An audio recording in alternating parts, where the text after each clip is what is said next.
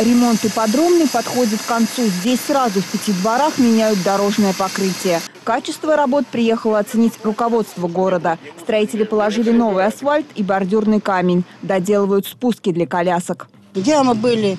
И вот после дождя вообще машине было проехать страшно. А сейчас сделали вообще. Москва стала.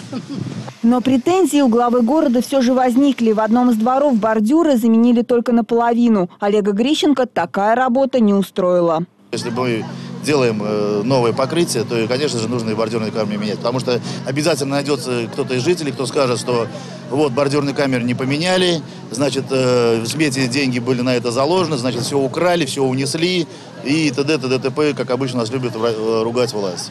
Поэтому такие вот э, у нас споры вышли, но будем менять.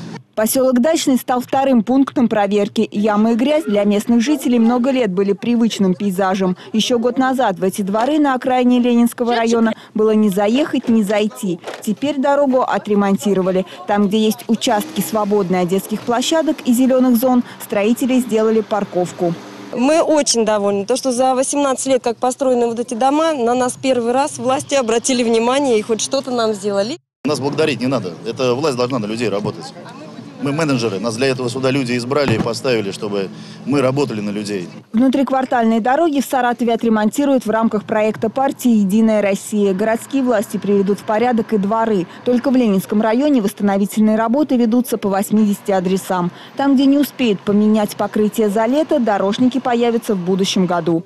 Надежда Новикова, Елена Гришина, Алексей Барыбин. Новости телеобъектив.